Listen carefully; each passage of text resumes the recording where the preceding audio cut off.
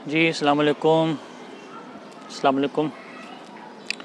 आज इन उन लोगों के लिए एक ख़ास वीडियो है जो तलाश में रहते हैं बाइनोकुलर्स के और जिनको चाहिए होती है ऐसी बाइनोकुलर, ऐसी दूरबीन जो बर्ड वाचिंग के लिए हंटिंग के लिए, हाइकिंग के लिए, मुख्तलिफ़ मकासद के लिए इस्तेमाल अगर करते हैं और उनको तलाश है ऐसे बाइनोकुलर्स की जो ये मकासद पूरे करें तो इन ये बाइनकुलर उनके लिए अच्छी रहेगी। ये आपके सामने कराची शहर है। इसको हम जूम करेंगे इस बाइनकुलर से। तो आज की जो बाइनकुलर्स है, इसका नाम है कोमिट टेन मल्टीप्लाई फिफ्टी। ठीक है, इसको हम अनबॉक्स करते हैं और जो कराची शहर है, इसका ज़रा व्यू करते हैं पीछे की साइड पर कि कैसा नज़र आता है। ठीक है तो ये आउटर बॉक्स है इसका। ये हर बाइनोकुलर्स के साथ एक मैनुअल मिलता है। आ, ये मैनुअल है। ठीक हो गया। ये प्लास्टिक का आउटर कवर है। ठीक है पहले हम ये देखते हैं एक्सेसरीज़ देख लेते हैं। ये लेंस सफ़ाई के लिए लेंस की सफ़ाई के लिए। ओके ये इसका कमिट का रिबन है। आपको नज़र आ रहा है कमिट का रिबन।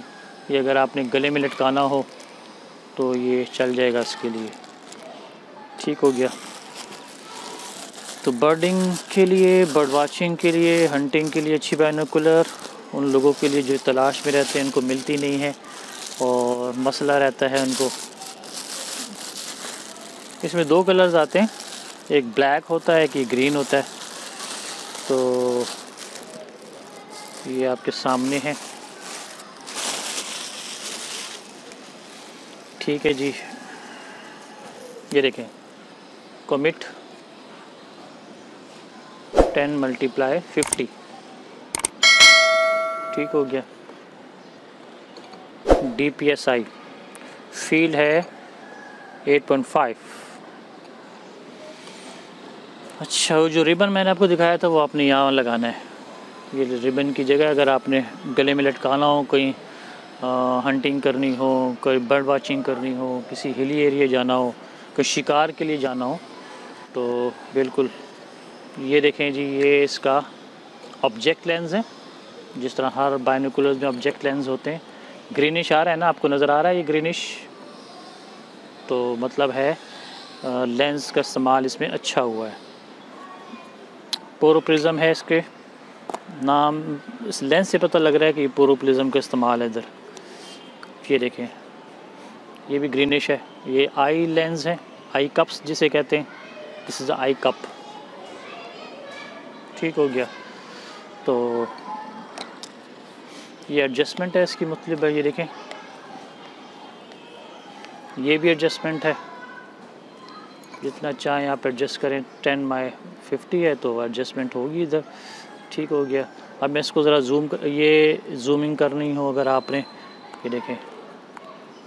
बल्कि यहाँ से देखें, ये देखें जितना मैं ऊपर नीचे कर रहा हूँ तो ये इसका एडजस्ट हो रहा है। अगर आपने इसको नीचे करना हो, ये देखें। ठीक है जी। अब मैं इसको ज़रा जूम करके देखता हूँ। जूमिंग वीडियो में लाने लगा हूँ। मैं देखते हैं इसका जूम कैसा है। फिर मैं आपको बताता हूँ। ठीक है जी। ये कराची शहर का व्यू है। जहाँ एडजस्ट हो जाए आपकी आँख, आपने उधर ही जाके इसको रोकना है। ठीक है जी। अच्छा। बेहतरीन है।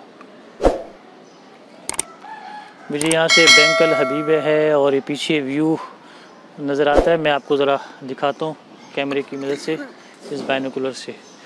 ठीक है जी, ये देखें। अभी तो आप पहले बग़ैर बाइनोकुलर के देखें मैं इस सामने लाऊँगा कोमिट टेन मल्टीप्लाई फिफ्टी इसका जूम चेक करें ज़रा। वाइड जूम है मैं अक्सर लोगों को कहता हूँ इसका जो जूम है वो वाइड है। मतलब चौड़ा है तंग नहीं है। बात होती है आ, जिसका जूम है तंग होता है ना। ये देखें। ये देखें। अच्छा मैं इधर को ज़रा एडजस्ट करता हूँ फिर आप ये यहाँ से मैं हटाता हूँ इसको ठीक है? ये देखें। अब मैं दूसरे लेंस से करता हूँ। ये दूसरा लेंस है इसका। इसको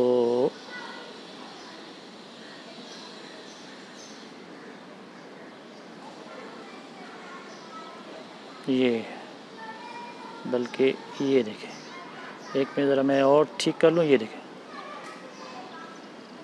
ठीक हो गया। ये, देखिए इसका जूम मुझे अच्छा लगता है इस वजह से कि ये वाइड जूम है।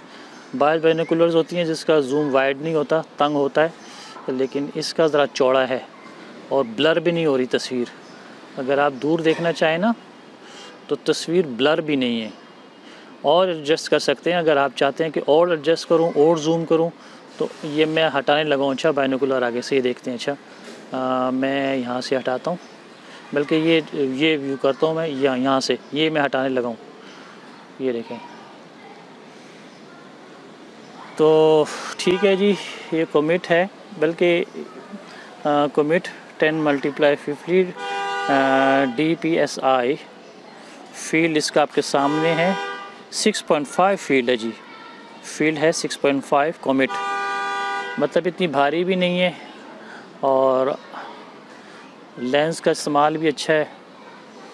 तो अच्छी बाइनोकुलर है, कम कीमत में। बेहतरीन जूमिंग की आपकी सामने मिल जाएगी बाइनोकुलर। ठीक है जी तो ये थी कॉमिट टेन मल्टीप्लाई 50